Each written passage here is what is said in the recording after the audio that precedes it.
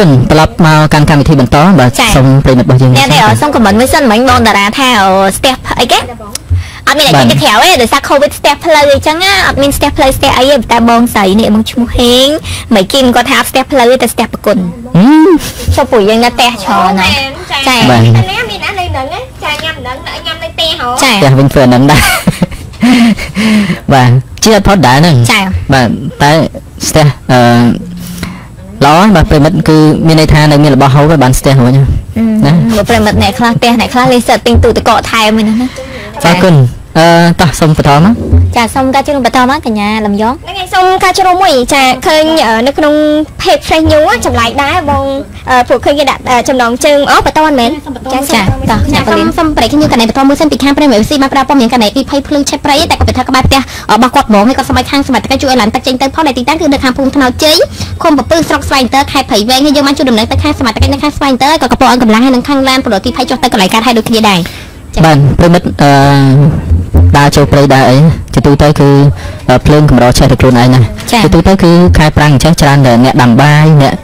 ជក់បារីហើយបោះចោលអញ្ចឹងណាបាទសូមចូលរួមកន្លែងនឹងផងពីព្រោះកន្ទុយបារីតូចមួយប៉ុន្តែវាអាចធ្វើឲ្យឆេះព្រៃវាអាចឆេះផ្ទះវាអាចទំហំនៃការបំផ្លាញត្រឹមតែភ្លើងតូចមួយអាចបំផ្លាញព្រៃដូចជានៅខាងអូស្ត្រាលីកាលពីដើមឆ្នាំចន្លងខែមួយប្រិមិត្តដឹងគឺ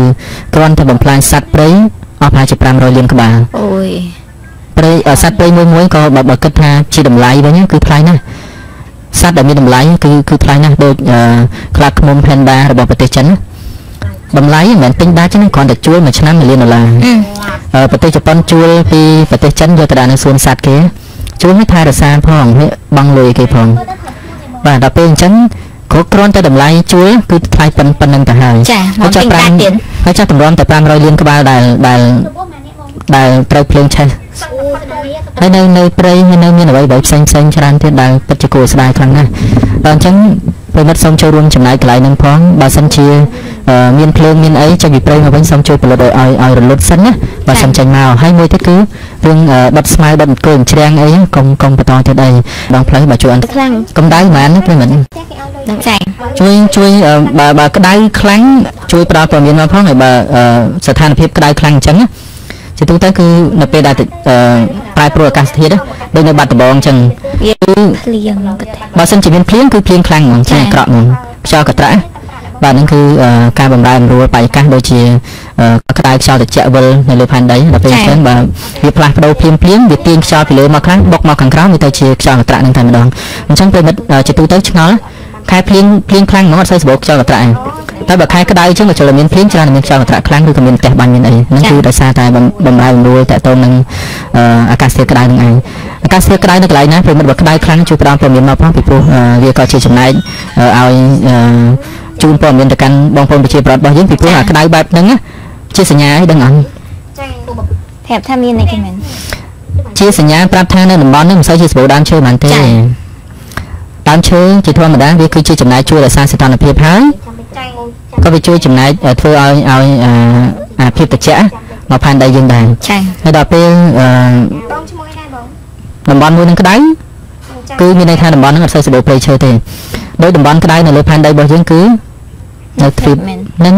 ចាបាទនៅទ្វីបអាហ្វ្រិកគឺតំបន់ក្តៅបំផុតនៅលើផែនដីហើយហើយតំបន់ផ្សេងផ្សេងដែលសម្បូរដើមឈើជាទូទៅបាទនៅក្បែរតំបន់ប៉ូលអានឹងវាម្យ៉ាងប៉ុន្តែសម្រាប់យើងនៅនៅតំបន់ធម្មតា គឺទាមទារឲ្យមានព្រៃឈើអានឹងគឺជាជាហេតុផលមួយដែលអាចបញ្ជាក់ថានៅតំបន់ហ្នឹងគឺមានព្រៃឈើគឺជួយរក្សាសីតុណ្ហភាពជួយធ្វើឲ្យសីតុណ្ហភាពល្មមដែលយើងអាចរស់នៅបានអរគុណយើងទាញរឿងព្រៃឈើបន្តិចដើម្បីប្រិមិត្តរបស់យើងត្រឡប់មកតទៅនឹងកសិកម្មនៅដោយសារតែបច្ចុប្បន្ននិយាយជារួមគឺពិភពលោកនិយាយដោយឡែកគឺប្រទេសកម្ពុជារបស់យើង យើងអត់ទាន់បានដាក់ប្រទេសនៅក្នុងភាពអាសន្នទាក់ទងនឹងរឿង COVID-19 ទេចាដល់អញ្ចឹងធ្វើត្បិតតែប្រទេសរបស់យើងអត់ទាន់ដាក់ប្រទេសនៅក្នុងភាពអាសន្នប៉ុន្តែច្បាប់បានធ្វើរួចរាល់ហើយអញ្ចឹងថ្ងៃដែលដែលប្រកាសអាសន្ននៅពេលណាអានឹងគឺនៅពេលដែលច្បាប់ដាក់ប្រទេសនៅក្នុងភាពអាសន្ននេះចូលជាធរមានព្រះមហាក្សត្រលោកឡាយព្រះព្រះរាជក្រឹត្យឡាយប្រហោះលេខាបាទគឺចេញព្រះរាជក្រឹត្យដាក់ប្រើប្រាស់តទៅនឹងច្បាប់ប្រកាសអាសន្ននេះអញ្ចឹងមានន័យថានៅពេលដែលស្ថានភាព COVID-19 គ្រប់គ្រងអត់បានចានោះគឺច្បាប់ដាក់ប្រទេសនៅក្នុងភាពអាសន្ននឹងអាចនឹងត្រូវបានប្រើហើយអញ្ចឹងបើក្នុងករណីដែលច្បាប់នឹងគឺដាក់ឲ្យប្រើប្រាស់មានន័យថាប្រវត្តិជាទូទៅគឺត្រូវបានបកសិទ្ធបកសិទ្ធមួយចំនួនដែលជាទូទៅសិទ្ធជាមូលដ្ឋានរបស់មនុស្សដែលដែលនៅក្នុងការរស់នៅគឺសិទ្ធនៅក្នុងការដើរហើរសិទ្ធទទួលបានការអប់រំសិទ្ធរស់រានមានជីវិតហើយអឺសិទ្ធផ្សេងផ្សេងមួយចំនួនទៀតអញ្ចឹងសិទ្ធដែលដែលអឺធំធំទាំងអស់ហ្នឹងជាទូទៅនៅប្រទេសរបស់យើងគឺអត់បានដកសិទ្ធរស់រានមានជីវិតទេ ប៉ុន្តែនៅប្រទេសផ្សេងគឺបានដកសិទ្ធរស់រានមានជីវិតទៀតបើសិនជាប្រឆាំងជាមួយនឹងច្បាប់ឧទាហរណ៍ដូចនៅប្រទេសហ្វីលីពីនដែលយើងដឹងព័ត៌មានមកអឺលោកប្រធានាធិបតីហ្វីលីពីនរ៉ូទ្រីហ្គោដូចទៅទេគាត់ដកសិទ្ធិពីបរដ្ឋណាមួយដែលបំពេញច្បាប់ចាដែលបំពេញនៅពេលដែលប្រទេសដាក់នៅក្នុងភាពអាសន្នហើយនៅទៅចេញដើរហ្នឹងគឺថាបាញ់តាក់បាទតងគឺបាញ់ចោលតែម្ដងចាអ្នកខ្លះអ្នកខ្លះមើលទូរស័ព្ទនៅក្នុង Facebook ហ្នឹងឃើញអ្នកខ្លះដើររាប់ឥតដើររាប់ ប្រឡោះឥតអ្នកខ្លះគាត់នៅនៅថៃចងអ្នកខ្លះក្រងបោចាចាំអត់មានអីខ្វល់បាទតែតារានៅថៃគាត់មិនចេញមកថត TikTok អីញឹកញាប់បងបាទអីគេ Instagram របស់គាត់អីហ្នឹងញយញយហ្នឹងទៅនឹងសិទ្ធិការងារអបសុកចា៎ការងារអបសុកហើយតែបាអត់ត់ភាពអបសុខតែអត់បានប្រយោជន៍អីក្រៅពីបំបត្តិភាពអបសុកទេមានមកប្រយោជន៍ផងប៉ុន្តែមានការងារដែលបំបត្តិអបសុខហើយផ្ដល់អារម្មណ៍ល្អហើយផ្ដល់ការហាត់ប្រាណហើយអឺ ថែមទាំងផ្ដល់ប្រយោជន៍សេដ្ឋកិច្ចទៀតផងហើយយើងអត់អស់លុយត្រូវទៅទិញយកបានគេបាមកទទៀតហើយយើងបានសុខភាពល្អទៀតហើយបានជួយរដ្ឋាភិបាលទៀតចា៎ចូលរួមចំណែកជាមួយនឹងរដ្ឋាភិបាលរបស់យើងដែលកំពុងតែអឺប្រឈមនឹង COVID-19 ទៀតហ្នឹងអីគេគឺយើងធ្វើកសកម្ម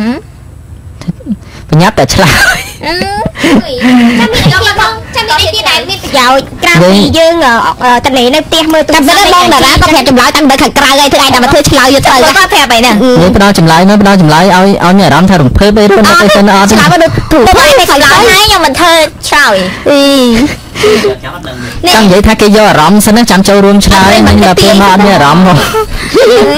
ចាំមានអារម្មណ៍អីទេខ្ញុំចង់ចង់ឲ្យពេលមកចូលចូលរួមទេស្រាប់តែឥឡូវលេងអត់មានអារម្មណ៍ទេគាត់ថាដាក់មកគឺគោកសតចាអត់ទេប៉ុន្តែនិយាយកសិកម្មមកខ្ញុំទៅសារនេះមកដោះមកដោះនៅ ABC បាទអូយគាត់ដាំបន្លែអានេះឥឡូវគេនេះស្ព្រៃខ្ញុំបាទគាត់ចាំនេះលួចបេះឡាម៉ាត់មកកាឆែងមានមានអានោមមានអឺស្ពៃមានតគួមាននខាត់ណាមានអឺអឺតសក់មាននិយាយទៅគឺគាត់ដាំនិយាយចឹងស្ពៃស្ពៃយើងមានផ្លែទៅអត់តែបាទតែបានពីរស្ពៃយើងមានផ្លែដាំម្ទេសដាំអីគេនិយាយទៅបាទគឺស្ដាយគួរមានអីគ្រប់មុខហ្មងក្រូចខ្លងមានដែរខ្ញុំឃើញដើមឡើងទូចតាមប្រទេស បងបងប៉ិនប្រើខ្ញុំមិនស្ដីរឿងខ្ញុំអត់យកប្រទេសឲ្យខ្ញុំយកលួចដើមប្រទេសម៉ែខ្ញុំដាក់ឥឡូវទាំងផ្លែម៉ែហឹមលួយតាំងដើមម្ទេសម៉ែទេគឺមានកម្រិតជាបដាំមែនដូចចាខ្ញុំបែបអត់ទេខ្ញុំក៏មានកំណត់ដែរកំណត់លួចលួចបេះបេះតែហូគេតផ្សេងផ្សេងអស់នៅម្តែទេសអអស់ស់ដល់40គីឡូបេះទាំងអស់ហ្នឹងតែគេបានមើលស្លាកអត់គេដាក់ហាបបេះក្រុមហ្នឹងហើយពីណៃគុណនឹងពីរបេះហើយចាបាទអញ្ចឹងរកមុខឃើញអ្នកដែលលួចបេះបោនៅក្នុងមជ្ឈូអឺត្រឡប់មករឿងកសិកម្ម ប្រិមត្តនេះសិតបាទតែអីគេអឺបងជីវិតលើមេចេះដេកលើផ្ទះមើលរឿងចាតែគេចាំគេធ្វើឲ្យមានសិនអត់ទេគីឡូចាក៏ចង់និយាយថាចេះចាំឲ្យមានអារម្មណ៍ឲ្យមានប្រិមត្តទៅចូលរួមមានអីសិនណាអូយើងចង់លឿនចង់អារម្មណ៍លីងហ្មងខ្ញុំចង់លឿនចង់ទៅញ៉ាំអឺគាត់ចូលចិត្តវាយលះហាងដកហាងនិយាយថាមិនគេអត់និយាយអត់និយាយថាអស់ប្រុសតែមួយទេចាពីរហើយចុះហើយចុះអឺកូកណាត់មិនមែនប្រុសទេចឹងចាគាត់នៅខាងក្រៅចង់និយាយបាទលើនេះយើង ស្រីទាំងអស់ប្រុសតែមួយទេតែបាទចានៅលើនេះយើងឥឡូវអញ្ចឹងទៅបងបងប្រកាសថាសុំអត់ធ្វើប្រុសទុកម្ដងបងវាវាយអរគុណនេះតើតើរឿងកសិកម្មទាញរឿងកសិកម្មឲ្យពេលរបស់យើងចូលអឺចូលរួមទាំងអស់គ្នាបន្តិចចាអឺរដ្ឋាភិបាលគឺប្រកាសឲ្យអឺពលរដ្ឋរបស់យើងគឺចូលរួមធ្វើកសិកម្មទៅហើយការចូលរួមធ្វើកសិកម្មនេះគឺជាធម្មតាយើងគ្រប់គ្នានៅផ្ទះអញ្ចឹងទោះបីជាអ្នកដែលមិនធ្លាប់ធ្វើកសិកម្មពីមុន ក៏ដូចជាអ្នកដែលធ្លាប់ធ្វើកសិកម្មពីមុនដែលខាតគឺឥឡូវហ្នឹងការរៀនកសិកម្មអត់ពិបាកដូចមុនទេចាមានអេមបាក់ផងបាទពីមុនត្រូវការធ្វើជីត្រូវការធ្វើអីមួយមួយគឺទាមទារឲ្យមានចំណេះដឹងខាងផ្នែកកសិកម្មហើយរៀននៅតាមសាលាទៀតនៅតាមចំណេះទូទៅសាលាបច្ចុប្បន្នមានសាលាខ្លះក៏គេអត់បរៀនដែរសាលាខ្លះបានបិទមុខវិជ្ជាកសិកម្មនឹងចោលហើយដូចនៅភ្នំពេញហ្នឹងដូចអត់មានទីតាំងសម្រាប់ធ្វើកសិកម្មណាបាទសាលាសាលាណាខ្លះដែលអត់មានសាលាខ្លះដែលមាន ផ្លាកំពុងស្នាញ់នេះក៏មានដែរចាអានេះគេធ្វើអាជួររតែសាលាសាលាខេត្តដែរហ្នឹងអត់ទេខេត្តកណ្ដាលតើនៅស្លាពេញទេវីក៏ធ្វើដែរស្លាខ្ញុំមកបាត់អីក៏មានដែរធ្វើហ្នឹងធ្វើមិនបង្រៀនគ្រប់ស្លាបឋមបង្រៀនគ្រប់ថ្នាក់ឬក៏មិនគេ មានម៉ាម៉ោងគេតែម៉ោងកសិកម្មមកកសកម្មចាតែគាត់ថាវាអត់ប្រឡំទលាយដូចការខ្ញុំអត់ទេជាធម្មតាដាំដាំតែតកួនហ្មងតកួនចិនដូចការខ្ញុំហ្នឹងឯងព្រោះការអឺអឺឡើងយកយកស្រួលដាំអឺរៀននៅបឋមសិក្សាទូកក៏អីចឹងណាគឺមានដាំតកួនដាំអីចឹងទៅហើយពេលឡើងដល់ថ្នាក់អឺអនុវិទ្យាល័យវិទ្យាល័យអញ្ចឹងអឺចាប់ដាំដាំជាខាត់ណាតែគេមានរងបន្លែឲ្យយើងធ្វើចាហើយពេលដាំបានផលយើងអាចយកទៅផ្ទះបានទៀតចានៅអឺកាលពីចំណេះទូទៅការបង្រៀនកសិកម្មរបស់អឺ តាមសាលានីមួយៗរបស់ខាងក្រសួងអប់រំគឺអឺនៅថ្នាក់បឋមក៏មានកសិកម្មចាអូនៅរៀនតាំងបឋមមកបាទនៅអនុវិទ្យាល័យក៏បរៀនកសិកម្មកាលហ្នឹងខ្ញុំអឺសុំម៉ែឈប់ទៅរៀនដោយសារតែខ្ញុំខឹងគ្រូហើយដងទឹកខ្ញុំមកស្ទើរតាណាមកខ្ញុំខឹងហើយខ្ញុំមិនមែនកាលហ្នឹងតែគ្រូប្រអញ្ចឹងខ្ញុំធ្វើឈឺល្បិចចុកពោះអីចឹងណាចាំទៅនិយាយទៅខូចតាំងពីដើមហ្មងនិយាយទៅចេះទៅតដងគីឡូធ្វើប្រពន្ធត្រៀមចិត្តត្រៀមកាយណាធ្វើឲ្យយួរទឹកយួរអីយកមកស្រោចតាណាអីចឹងណា ជួយធ្វើល្បិចចុកខ្ជិលហើយសុំម៉ែទៅរៀនអូខ្លួនឯងអឺបងបងតារាឧទាហរណ៍បើសិនជាបងឯងត្រូវរើសគូសកអីអញ្ចឹងណាបាទឯងរើសដូចយកអត្តចរិតដូចកញ្ញាគីឡូឬក៏មិនយកតាខ្ញុំសូមអត់ឆ្លើយបានណាអត់ទេត្រូវការចម្លើយហើយការចម្លើយចា ព្រោះឲ្យដឹងថាអឺអត់ចាំដែរក៏យើងបានដាស់តឿនក្រុមការងារយើងដែរឲ្យគាត់យល់អារម្មណ៍ហ្នឹងអឺក៏បើដល់ពេលគាត់មានប្តីហើយប្តីរបស់គាត់ចេញអត្តចរិតមកគាត់ខឹងប្តីគាត់ទៀតទេចម្លើយពិតប្រាកដចម្លើយយ៉ាងណាក៏អឺកុំឲ្យនៅតែយកខ្ញុំក៏ដែរក៏មិនក៏មិនអាចសេចក្តីដែរពីព្រោះថានៅពេលដែលស្រឡាញ់មិនដឹងទៅស្រឡាញ់ណាគេផងចាដល់ដល់ពេលអញ្ចឹងយើងមិនអាចវិនិច្ឆ័យបានចាំពេលទៅដែលយើងចាំស្រមើលឡាញទៀត់គឺយើងមិនថាមិនគេគេទទួលយកគេគ្រប់យ៉ាងបាទសំខាន់ម៉ែថ្មីទទួលយកមើលថាគេ គេគីឡូឲ្យសញ្ញាណាប្រិមិត្តណាគេស្រឡាញ់គេគីឡូគេថាត្រៀមលក្ខខណ្ឌនៃគេគីឡូឲ្យទៅបាទនេះឥឡូវសុំអានខមមិនខមមិនចាសូមពីខាងអឺអុយបងគាត់ចូលរួមគាត់ថាអឺបងកាត់ដេកសម្លៀកបំពាក់បរិនារីគ្រប់ម៉ូដណាគាត់ថាហើយអឺមើលថែមន់ខ្ញុំមានច្រើនអឺទេនេះក៏មិនគាត់នៅខាងលើនេះអីនេះគាត់ចូលរួមកាលពីកាត់ដេកគឺដាំបន្លែញ៉ាំតែហើយមើលថែមន់ខ្ញុំមានច្រើនតែអត់ដែរទិញគេទេ គេទេបន្លែក៏ដាំដែរល្អហើយបងចាបន្លែគាត់មានខ្លួនឯងហ្មងហ្វេនលោកគ្រូចាបាទឲ្យបងឈ្មោះពងលរៈនេះក៏ដាក់ថាម៉ោងកសកម្មឥឡូវគ្រូបង្រៀនតែទ្រឹស្ដីទេតែការអនុវត្តផ្ទាល់អត់ចាធម្មតាអឺការបង្រៀននៅតាមសាលាជាទូទៅគឺអឺបង្រៀនផ្ទាល់គឺការពីមុនគឺបង្រៀនផ្ទាល់ច្រើនហើយកាលមុនអឺម៉ោងគេមានបើថាម៉ោងកសិកម្មគឺម៉ោងហ្នឹងគឺឲ្យកូនសិស្សធ្វើជីធ្វើអីដាំតំណាំដាំអីកាប់ដីកាប់អីខ្លួនឯងហ្មងព្រោះធ្លាប់រៀនសម្បីតែដល់វិអនុវិទ្យាល័យវិទ្យាល័យអីក៏មានម៉ោងហ្នឹងដែរចា បាទរឿងកសិកម្មអឺតាមពិតទៅការពីមុនហើយនឹងគ្រូឲ្យយើងអាចគោមកទៀតហ៎បាទការកាអូនិយាយរឿងលើកអាចគោហ្នឹងគឺចាប់បាត់ហើយអនុស្សាវរីយ៍រាប់មិនអស់ខ្ញុំអឺអានេះ ខ្ញុំយកអាទៅហើយអូសយកប៉ែប៉ែមកវិញអសសចឹងមិនជីឡោហើយខ្ញុំកាលហ្នឹងអឺដាំតាប់ការមក10ទេឲ្យគ្រូឲ្យដាំចឹងដាំការដាំតាមកដាំតាប់ការមក10ទេបាទយកឥឡូវទៅឥឡូវប្រិមិត្តរឿងកសិកម្មនេះអត់ចង់អឺសំដៅទៅលើការដាំផ្កាដាំអីទេពីព្រោះនាំខាតដីទុកវាម្ដុំសិនពីព្រោះវាបានត្រឹមតែប្រយោជន៍ល្អមើលទេស្រាប់ដាំ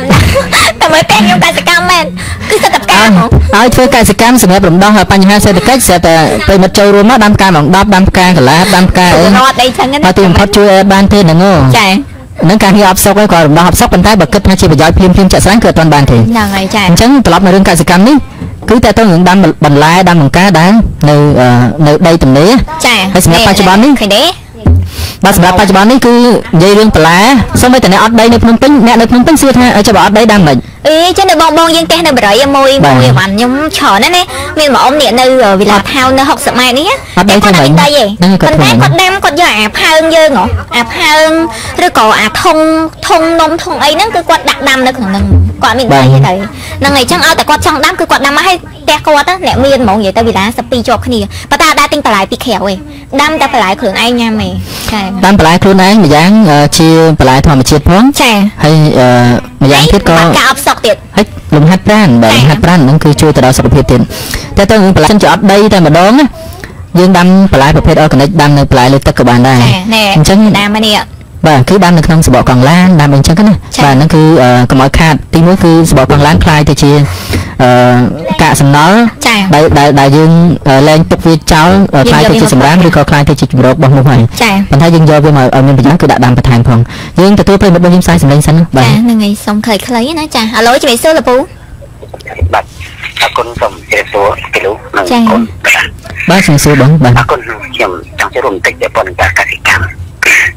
អរគុណ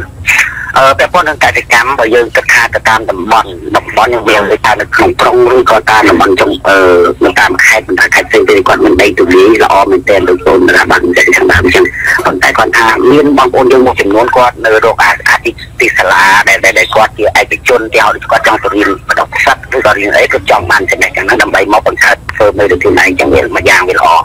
តែផ្ទុយទៅវិញខ្មែរយើងបើសិនណាជាជាជារៀនចំណាយពេលវេលាឧទាហរណ៍ថាឥឡូវខ្ញុំស្គាល់តែម្នាក់នៅកំពង់ចាមគាត់មុខរបស់គាត់បណ្ដុះសិទ្ធិចឹងណាអញ្ចឹងយើងទៅចំណាយពេលវេលាមួយខែទៅជួយធ្វើគាត់តែម្ដងដើម្បីចង់បានចំណេះជំនាញពីគាត់ហ្នឹងបានមកហើយយើងមកបង្កើតខ្លួនឯងតែម្ដងចា៎អានេះគឺជារឿងដ៏ល្អនេះសម្រាប់អឺជាក្រុមគ្រួមួយមួយដំណាំសម្រាប់ក្រុមគ្រួសារមួយដំណាំសម្រាប់យើងលុបចែកចាយជាផលិតផលផ្សេងៗឧទាហរណ៍ដូចថាការដាំស្ពៃដាំត្រប់ខាត់ម៉ាឬក៏ត្រប់ស្រួយត្រប់អីសម្ដែងអីហ្នឹងគឺជារឿងធម្មតាបងប្អូនយើងចេះដាំតតតាមចំណេះពីដូនតាមកគាត់កាត់ពីដៅទឹកដីដាក់ជីដីដំណុកបាច់ពួយធម្មជាតិធម្មតាធម្មតាអញ្ចឹងតែផ្ទុយទៅវិញបច្ចុប្បន្ននេះវាពិបាកក្នុងការធ្វើបន្តិចបើមកខាងតកៅយើងវាដីវាទៅជាដីវាជូរហើយអស់ទៅហើយដោយសារតែបងប្អូនប្រជាពលរដ្ឋយើងប្រើជីគីមីពីដើមដាំតែវាលខ្លែច្រូតហើយយើងជួដាំទៅបីទៅស្ពៃទៅញ៉ាំតែ23ថ្ងៃគឺមកគុំអាច1គីឡូខ្លះទៅ2គីឡូហើយ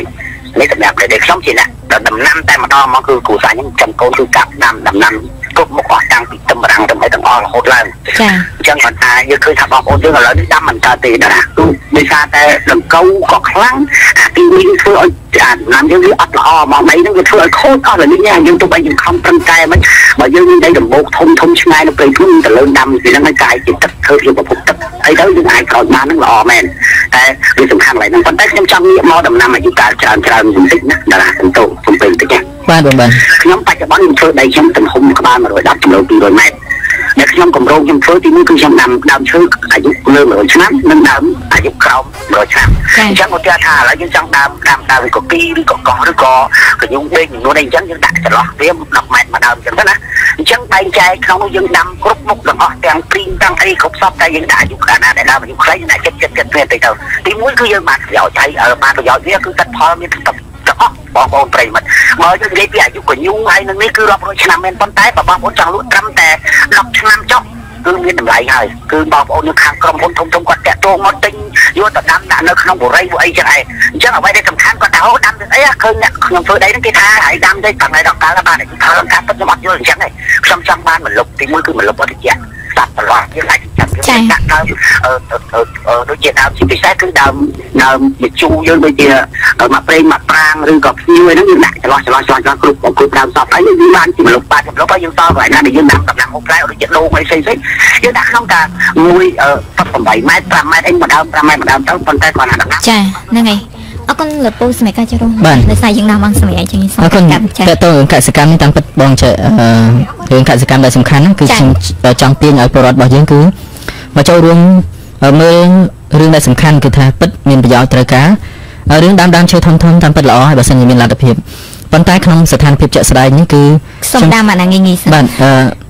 ដាំដែលមានប្រយោជន៍សិនចា៎ដាំដែលមានប្រយោជន៍គឺដាំបន្លែហ្នឹងហើយប៉ុន្តែបើសិនជាយើងចាប់ផ្ដើមរៀបចំពីឥឡូវនេះទៅបើទោះបីជាប្រទេសមិនដាក់នៅក្នុងគ្រាអាសន្នក៏យើងបានបន្លែធម្មជាតិសម្រាប់យកមកញ៉ាំដែរមិនចា៎ចា៎ហើយរឿងដែលសំខាន់ទៀតគឺថាបើឧទាហរណ៍ថាដល់ពេលដែលគេបិទប្រទេសពឹបយើងក៏អត់មានភ័យអត់មានប្របាបាទក្នុងការទៅរកស្បៀងដែររដ្ឋាភិបាលនៅពេលដែលមានពលរដ្ឋអឺ ទីមួយសម្ដេចនាយករដ្ឋមន្ត្រីគាត់អំពាវនាវឲ្យចូលរួមនៅក្នុងការធ្វើបន្លែហ្នឹងចា៎គឺអឺកសិកម្មបែបគ្រួសារអញ្ចឹងមន់អញ្ចឹងទាបានល្អធ្វើបន្លែបានល្អប៉ុន្តែដល់ពេលពលរដ្ឋអត់ចូលរួមរដ្ឋាភិបាលគាត់ជាធម្មតាគឺរដ្ឋាភិបាលមានកាតព្វកិច្ចនៅពេលដែលរដ្ឋាភិបាលដកសិទ្ធិការដើរហើររបស់ពលរដ្ឋអញ្ចឹងគឺគាត់ត្រូវចូលរួមបំពេញនៅកាតព្វកិច្ចមួយចំនួនចា៎ដើម្បីឲ្យពលរដ្ឋអាចរស់រានមានជីវិតបានឧទាហរណ៍ដូចចែកអង្គចែកត្រីខចែកអីហ្នឹងគឺត្រូវតែធ្វើ បើមិនធ្វើពលរដ្ឋអត់ចេញពីផ្ទះផងសួរពលរដ្ឋខ្លះដែលគាត់ជួបការលំបាកអត់មានស្បៀងហ្នឹងទៅបានស្បៀងណាមកបាទសម្រាប់គុតគង់គ្រួសាររឿងហ្នឹងរដ្ឋាភិបាលគេបានគិតហើយតែត្រឡប់មកអឺរឿងពលរដ្ឋដើម្បីចូលរួមចំណែកវិញគឺការធ្វើបន្លែដាំបន្លែបែបគ្រួសារហ្នឹងគឺជាការចូលរួមចំណែកជាមួយនឹងរដ្ឋាភិបាលយើងមួយយ៉ាងគឺជាជាការពិតគឺការងារបំបត្តិការផ្សុកតែរឿងដែលសំខាន់ទៀតនោះគឺយើងបានជួយរំដោះខាងផ្នែកសេដ្ឋកិច្ចភ្លាមជាក់ស្ដែងនៅពេលដែលស្ថានភាពប្រទេសនៅក្នុងអឺស្ថិតនៅក្នុងស្ថានភាពលំបាកចា៎អញ្ចឹងសង្ឃឹមថាបងប្អូនប្រជាពលរដ្ឋរបស់យើង ចូលរួមដាំបន្លែដាំអីទាំងអស់គ្នាណាអរគុណហ្នឹបាទងហើយអរគុណហើយបើសិនជាមានអ្នកចូលរួមប្រិមត្តចាំបន្តការចូលរួមនៅវគ្គក្រោយជាបន្តយើងសូមពេកសម្រាប់មួយផ្លែសិនសម្រាប់លេខទូរស័ព្ទចូលរួមកម្មវិធីមាន010 012 060 23 10 10ឬក៏ប្រិមត្តដែលគាត់ចង់មើលការ live យើងយើងមានការ live នៅក្នុង page ABC Cambodia ប្រិមត្តចាអាច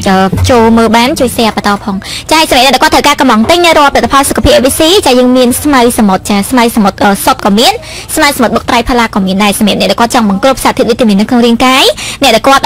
ចង់បំពន់ខួរក្បាលភ្នែកសក់កញ្ចក់ឬក៏អ្នកដែលគាត់មានបញ្ហាខ្សោយអស់កម្លាំងគេងអត់សូវបានហ្នឹងគឺគាត់អាចប្រើស្មៅសមុទ្របុកនិងត្រៃផាឡាបើយើងបានបើសិនជាចង់បានត្រៃផាឡាមួយមុខទៀតតម្លៃដូចគ្នាប្រហែលមួយកំប៉ុងគឺ20ដុល្លារមាន100គ្រាប់នៅក្នុងហ្នឹងញ៉ាំបានគ្រប់វ័យទាំងចាស់ទាំងក្មេងគឺញ៉ាំបានដូចគ្នាចាអាចធ្វើការកំងទិញបានចាសម្រាប់ស្មៅសមុទ្រសុតឬក៏ស្មៅសមុទ្របុកត្រៃផាឡាបើយើងហ្នឹងប្រហែលអាច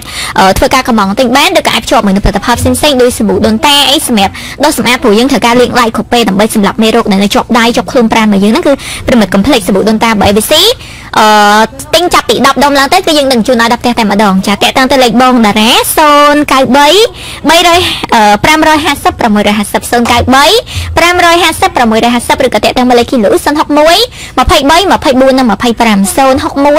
23 24និង25ឬក៏